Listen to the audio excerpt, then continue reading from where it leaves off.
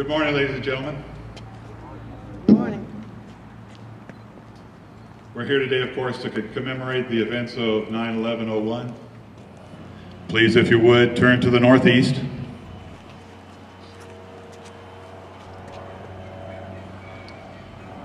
Stand, kneel, or sit as, as comfort allows, and we'll now observe 29 minutes of silence for prayer and contemplation to mark that time between the fall of, the, of Tower 2 and the fall of Tower 1.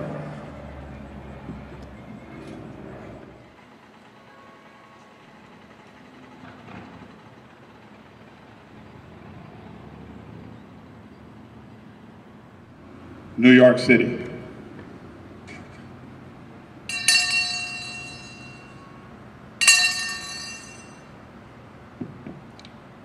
Washington, D.C.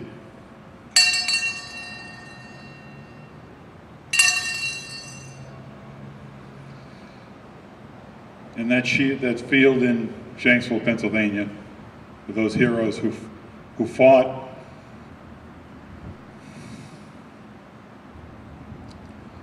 and won the first battle